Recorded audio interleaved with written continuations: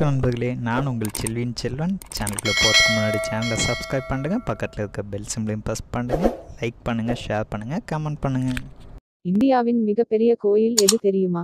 தெரிந்து கொள்வோம். முப்பத்தி மூன்று ஏக்கர் பதினான்கு லட்சம் சதுரடி நிலப்பரப்பில் திருவாரூரில் அமைந்துள்ள தியாகராஜர் கோயில்தான் இந்தியாவின் மிக பெரிய கோயிலாகும்.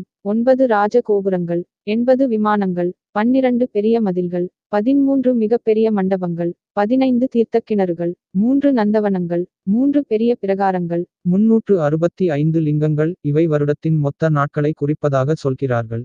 நூறுக்கும் மேற்பட்ட சன்னதிகள் எண்பத்தி ஆறு விநாயகர் சிலைகள் இருபத்தி நான்குக்கும் மேற்பட்ட உள்கோயில்கள் என முப்பத்தி மூன்று ஏக்கர் பரப்பளவில் பிரமாண்டமாக விளங்குகிறது. இங்கு சிவன் சுயம்பு மூர்த்தியாக அருள்பாலிக்கிறார். சோழர்கள் கட்டிய கோவில் இது. சோழர்கள் மட்டுமல்லாமல் பல்லவர்கள் பாண்டியர்கள் விஜயநகர் தஞ்சை நாயக்கர் மற்றும் மராத்திய மன்னர்களும் தத்தம் ஆட்சியில் இக்கோயிலை சிறப்பாக நிர்வகித்துள்ளனர். திருவாரூர் கோவிலுக்கு அழகு தருவது சுமார் நூற்று இருபது அடி உயரமுள்ள அதன் ராஜகோபுரமாகும். தெற்கு வடக்காக அறுநூற்று ஐம்பத்தி ஆறு அடி அகலமும்.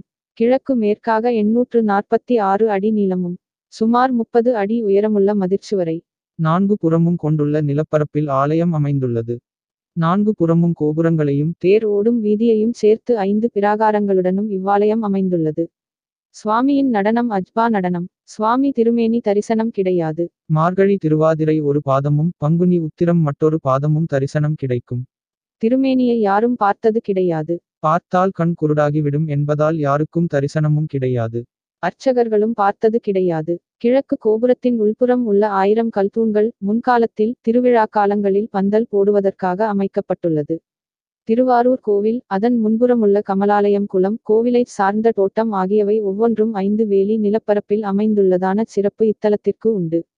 கோயில் ஐந்து வேலி குளம் ஐந்து வேலி செங்கழு நீர் ஓடை ஐந்து வேலி என்ற பழமொழி மூலம் இதன் சிறப்பை உணரலாம். ஐந்து வேலி என்பது ஆயிரம் அடி நீளம் எழுநூறு அடி அகலம். கோவிலின் மொத்த பரப்பளவு முப்பத்தி மூன்று ஏக்கர் ஆகும். அதாவது பதினாலு லட்சத்து முப்பத்து ஏழாயிரத்து நானூற்று எண்பது. பதினான்கு இலட்சம் முப்பத்தி ஏழாயிரத்து நானூற்று எண்பது சதுர அடியாகும். இவ்வளவு பிரமாண்டமான ஆலயத்தை முழுமையாக தரிசனம் செய்து முடிக்க வேண்டுமானால் ஒரு நாள் முழுவதும் செலவிட்டால் தான் முடியும். சிவாய நம திருச்சிற்றம்பலம்.